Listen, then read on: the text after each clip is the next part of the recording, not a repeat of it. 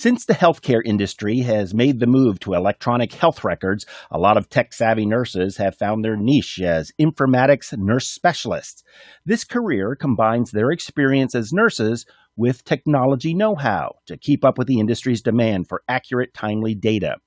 These specialists may test new software that helps nurses make healthcare decisions or create better structure to store and retrieve patient records. They may develop new policies and procedures for using electronic record software and train nurses on how to enter patient data. In all they do, they make sure that their electronic healthcare system observes patient privacy standards while meeting the needs of their facility.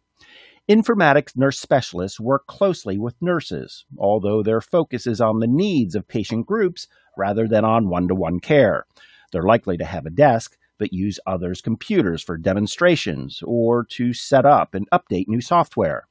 Typically, informatics nurse specialists have a bachelor degree in nursing and some work experience before entering the field, since it's easier to train a nurse in electronic health records than to train a technology whiz on healthcare.